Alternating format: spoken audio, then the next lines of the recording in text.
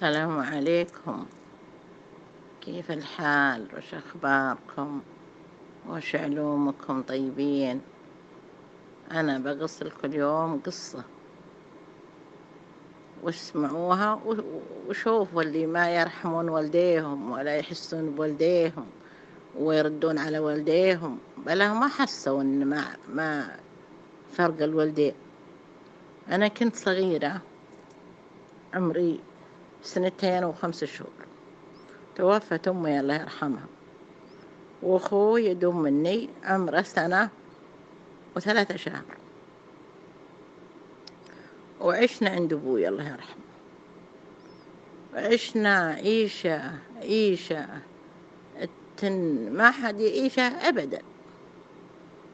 يتيمين ضعيفين أبوي يروح عنده أشغال ما يدري وش حصل علينا. يجي يشوفنا نايمين ما يدري كلنا ما كلنا لبسنا ما لبسنا ما يدري وش يدري. وتجي جدتي الله يرحمها لأبويا. قالت أنا طالبتك أباخذ الأطفال وأحفظهم. عن البرد وعن الدود وعن الجوع. هاك الوقت الدود ياكل الأطفال. يحس بذنيهم ويسدد أسمعهم وياكلهم. الدود هاك الوقت ياكل الناس. وبحفظهم لك عن البرد وعن الدود وعن وعن وابوي ما الله وفقه. عيا خلانا نعيش عند حرمته. وشفنا الويل. الدود أكلنا يحس بذنينا يحس بسمعنا يحس حالتنا حالة. وعشنا عيشة الله أكبر. على نشوف عيال أبويا يعني إخواننا من من أبونا ما هو زينا. عند أمهم يلبسون يأكلون هدومهم زينة ما فيهم مشق المشق وش هو الحين اليدين ما يجي جفاف. ما في وزلين هاك الوقت ما في شيء. جفاف يصب لنا اليدين والرجلين من الدم. كان وقت شتاء وكان وقت غير حالة. والدود والله إنه يمشي مع الرأس يحس بذانينا حالتنا حالة جوع. يبغى شيء يطقون الورعان نقعد نصيح. أنا شفت أخوي يطق أحد قعدت أصيح لو ما حد طقني. بس إني أشوف أخوي يطقونه أو واحد ينزر يهاوشه قاعد أصيح أنا هناك. ما حد. ولو ما حد ضربني أصيح بس من يوم أشوف أخوي. عشنا عشنا عشنا يمكن يا عمري عشر سنين. الله يسامحه أبوي زوجني زوجني رجال كبير.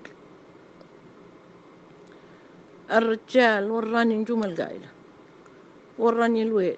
وراني الغربيل. ورعة ما عرف شيء رجال كبير رجال جلف.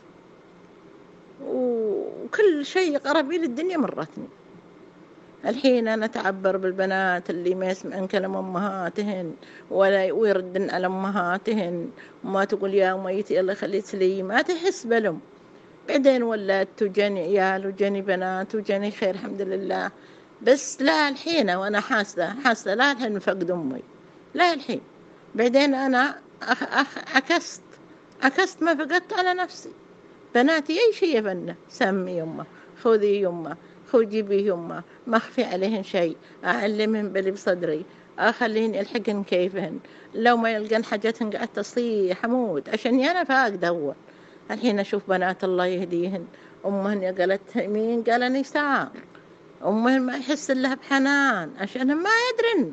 بغيبوبة لو أمك كنت تروح عنكن ساعة ساعة من يوم حسيت إن فرق الأم حسيت إن بالغربيل حسيت إن تعبرا. يعني خذن عبرة يا البنات الصغار الحين البنات الشابات البنات اللي ما يحسن بحنان أمهاتهن. ما تدرين أنت وش حق الأم الأم أمرها عظيم. أنا عمري الحين سبعين سنة وحاسة فرق أمي لها الحين. حاسة بكل شيء حاسة فيه. الحين أنا أرسلها نصيحة.